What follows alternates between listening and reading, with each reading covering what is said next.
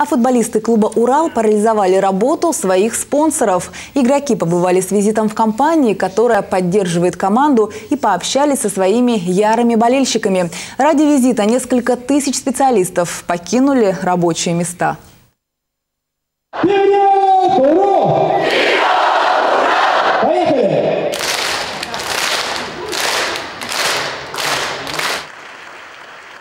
Встреча состоялась в разгар рабочего дня. Столь теплого приема гости не ожидали. В офисе компании «Сималенд», которая с апреля является спонсором клуба, спортсменов ждала теплая встреча.